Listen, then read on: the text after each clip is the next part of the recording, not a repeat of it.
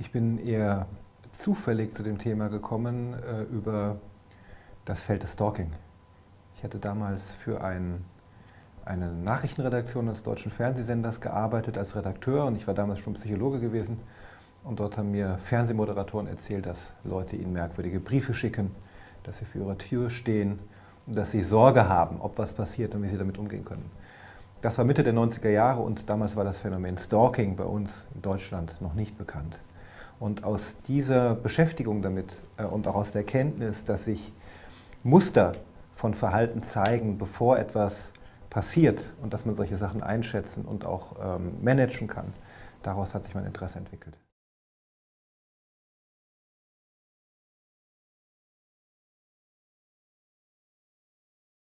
Viele Täter, seien es Männer, die ihre Frauen oder Ex-Partnerin umbringen, seien es äh, Schüler oder Ex-Schüler, die an, an ihre frühere Schule gehen und Menschen ermorden, ähm, sind häufig depressiv und ausweglos. Und diese Ausweglosigkeit, verbunden mit keiner Angst mehr zu sterben, äh, kann natürlich Hemmschwellen für eine solche Tat her herabsetzen. Wenn Sie glücklich sind, wenn Sie gut eingebunden sind, wenn Sie einen stabilen Selbstwert haben, kommen Sie in der Regel nicht auf die Idee, andere Menschen umzubringen.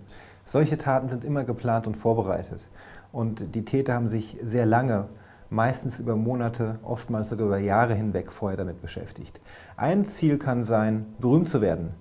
Ähm, das kann sogar auch ein Ziel sein, dass man berühmt wird, wenn man tot ist. Das heißt, ich habe mein Leben nicht auf die Reihe bekommen, ich fühle mich minderwertig und durch eine große Racheaktion, durch ein großes Ereignis, in dem ich viele Menschen umbringe, werde ich ein negativer Held. Diese Täter begehen sich über einen langen Zeitraum hinweg in ein Gedankensystem, äh, in dem sie andere entmenschlichen und gewissermaßen durch diese Entmenschlichung äh, ähm, sagen, das sind Feinde. Also ein deutscher jugendlicher Amokläufer hatte gesagt, der an seine ehemalige Schule gegangen ist, der Hausmeister war eigentlich immer nett zu mir. Aber auch er gehört zum System, deswegen muss er umgebracht werden. Also sich fast eine Art von terroristischer Logik ähm, aneignen. Äh, das ermöglicht dann auch diese Hemmschwelle äh, zu überwinden. Es, es, scheint für uns sehr schwer vorstellbar, dass sich jemand auf diesen Weg begibt, aber das ist ein Phänomen, was wir beispielsweise auch in kriegerischen Handlungen oder in terroristisch organisierten Gruppen sehen.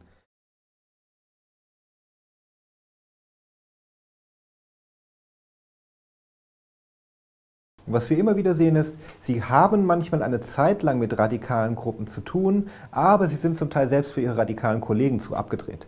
Deswegen, äh, und sie können sich nicht gut einordnen. Deswegen sind sie manchmal eine Zeit lang dabei, die meisten aber gehen auch wieder heraus. Und äh, auf eine gewisse Art und Weise ist der Art der radikalen menschenverachtenden Ideologie, sei sie rechtsextrem, sei sie linksextrem, sei sie islamistisch, austauschbar. Diese Art von Gewalt, seien es Serientaten über längeren Zeitraum hinweg, äh, oder seien es Massenmorde oder Einzeltaten, in denen eine, eine, eine Partnerin umgebracht wird, äh, sind häufig kühl und kontrolliert.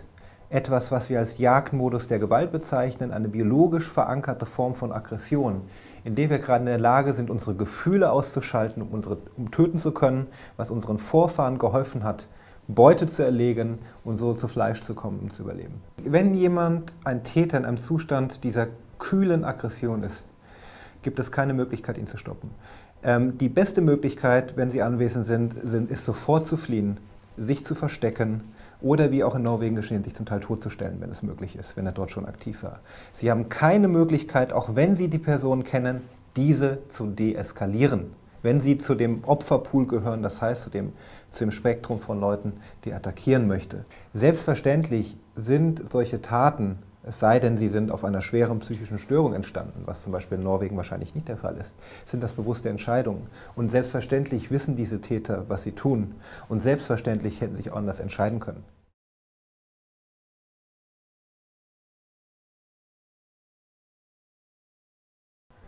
In Deutschland gibt es, finde ich, häufig einen verblüffend primitiven Umgang mit solchen schweren Gewalttaten auf politischer Seite. Es werden Einzelfaktoren gesucht, Videospiele beispielsweise, Gewaltmedien, die vielleicht eine kleine Rolle spielen. Und diese Fixierung oder äh, äh, stärkere Gesetzgebung ähm, führt dazu, dass wir die wirklichen Lösungen, die es gibt, nämlich zu sensibilisieren im Sinne einer, äh, einer, einer Prävention, die mehr Sicherheit schafft und gar nicht mehr Verunsicherung. Ähm, von Netzwerken, wir haben ja alle Fachleute immer vor Ort, dass man die praktisch vernetzt und ausbildet, dass das eben nicht gemacht wird. Wir haben zum Beispiel diesen Schulamokläufen, wo wir mit 42 Toten in zehn Jahren nach den USA das Land mit den meisten Fällen und meisten Toten sind, sehr spät reagiert für Prävention. Was in Deutschland gemacht wurde, man baut Alarmanlagen, man macht Evakuierungspläne, alles schön und gut, aber man achtet zu wenig auf die Prävention. Wir wissen beispielsweise von Schulamokläufen, dass in den allermeisten Fällen gleichaltrige Schüler Warnsignale aufgenommen haben, Andeutungen über eine solche Tat, eine massive Identifizierung mit anderen Amokläufern beispielsweise. Das Problem ist, diese Schüler haben es oft nicht weitererzählt, weil sie keine Ansprechpartner hatten, weil häufig überreagiert wurde und dass, wenn wir ein System aufbauen, in dem wir für Warnsignale sensibilisieren, ohne Angst zu machen, ohne von Amok zu sprechen, gleichzeitig uns darum kümmern, genauer hinschauen und eine vernetzte Struktur vor Ort haben, wir viele solche Taten verhindern können, was auch schon ähm, passiert ist. Wir können Risiko einschätzen, wie viele Schritte hat eine Person gegangen, um eine solche Tat zu begehen. Wir wissen nicht, ob die Person jemals weitergehen wird. Wir können es nicht vorhersagen. Wir können aber daran arbeiten, dass wir die Person stabilisieren und Grenzen ziehen, dass sie diese Schritte nicht weitergeht. Und damit ist allen gedient, auch der bedrohlichen Person.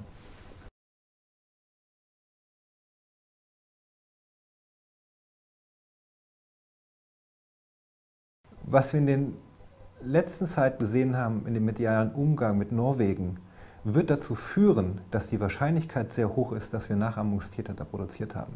Wir haben Menschen gezeigt, bringe viele andere Leute um, schreibe irgendetwas Krudes zusammen und stelle deine lächerlichen Fotos dar, in denen du in einer Art Kriegerpose herumhampelst. Und du wirst weltbekannt werden, dein Gesicht und dein Name werden bekannt werden. Wir wissen von diesen Schulamokläufen in Deutschland, dass sie ein größtenteils auf einen Nachahmungseffekt zurückzuführen sind, dadurch, dass wir sie berühmt machen.